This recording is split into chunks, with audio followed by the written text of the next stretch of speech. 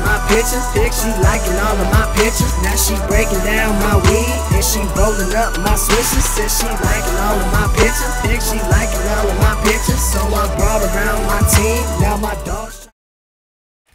Shit, this music shit's been crazy, man. This shit is just. It's something that I didn't see coming. You know, the people I met, uh, the, the connections I made, half the shows that I've done, I didn't expect for them to even know, happening. And I'm just a, a young kid who likes music and shit. I love music. I've always recorded music. You know, I've always written music. And to me, that was just something that, you know, I never understood how you could become bigger than recording in the closet, bigger than recording in um in your crib, at your boy's crib or some shit. I never knew how to get past that point. You know what I mean? Now I look back at my life and I look back at everything that I've kind of gone through. Shit kind of scares me. Man, right now I'm here with the team. Full Pound Records, man. Niggas are buzzing right now. Never thought I would have a team that got records on the radio, man. That first record, Wave, when that shit blew up on the radio, that was crazy to me. Boy Darcy, man, man, man, I basically grew up with. Now he on the radio. Linked up with Rozelle. Ass helped him out, got him on the radio. Now slowly but surely, from that moment on, man, everything is kind of, it's kind of picked up. And I think back, man, to, you know, where I first started.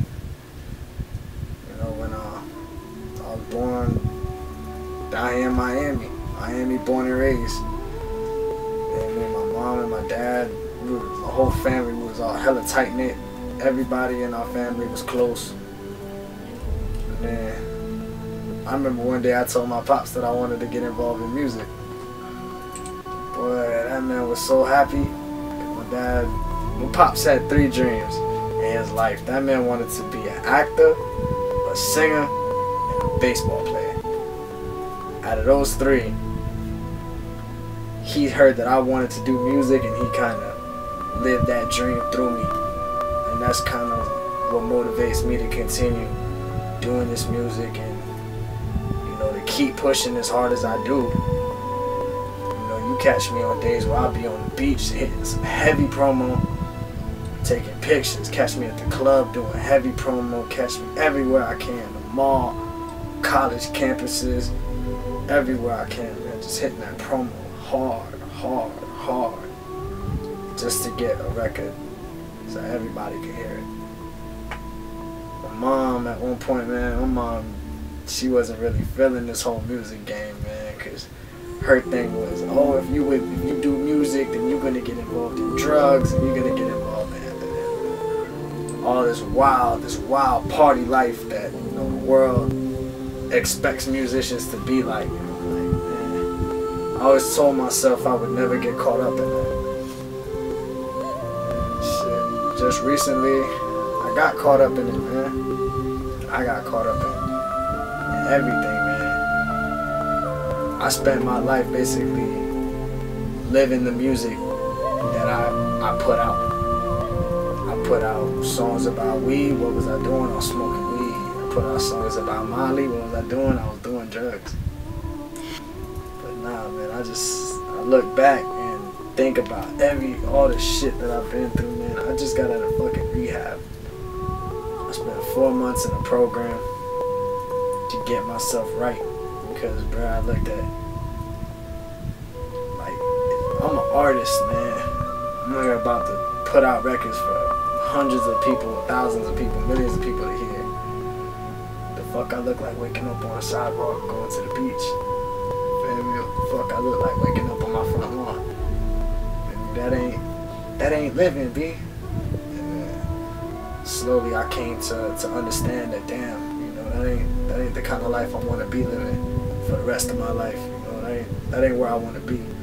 I wanna be able to remember the shit that I do when I go out with my people. I wanna remember the show that I did. I wanna remember, you know, everything. And it really hit home for me, man. And I finally decided, you know, now I gotta take this time out to just better myself. Me? I've been away for now about four months, going on five months. I just got home a little while ago. I told myself as soon as I got back to the crib, like, hey man, time to get back to work. Ain't no time to slack. I got an album I gotta drop. I got photo shoots I gotta get done. Yeah, songs I gotta finish, features I gotta finish, man. Shit. I got a whole list of things I gotta do and it's all right here in the iPhone. I got my whole to-do list right here. This shit's crazy. Man. Man, I got the whole mixtape kind of like that's been one thing that's been weighing on my mind is this mixtape, man.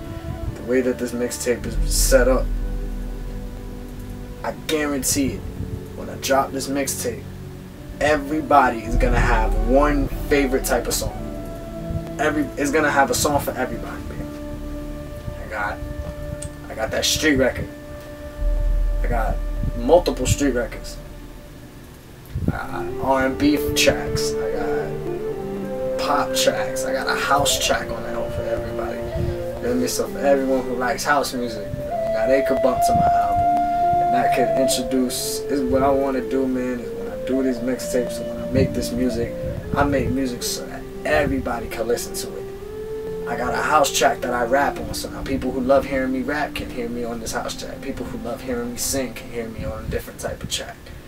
And that right there, man, the mixtape behind the bars, man, that was like I said earlier, man, just like I spent my whole life living what I did in this music, living my music. And this is what I got from it. You know, Life Behind Bars basically it kind of explains every aspect of my whole music career up to this point. Up to this point.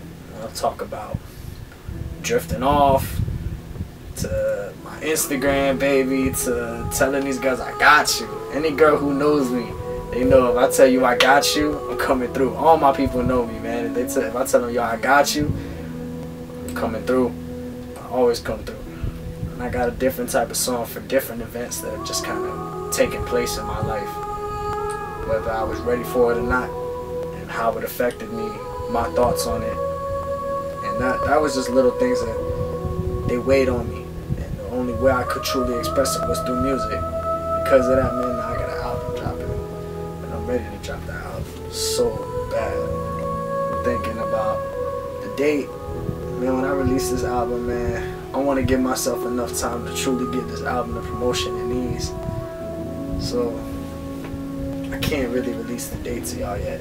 I'm not ready. Y'all ain't ready for the date yet. I'm not releasing the date until the date comes a little bit closer. Just know it will be released sometime this year. A lot of y'all may not even know the name Alcatraz or what Alcatraz does. But for me, my team, and my fans, it's been a long time coming. pictures. She liking all of my pictures. Now she breaking down my weed and she rolling up my switches. Says she liking all of my pictures. She liking all of my pictures. So I brought around my team. Now my dog's trying to fuck with her. She's my Instagram baby.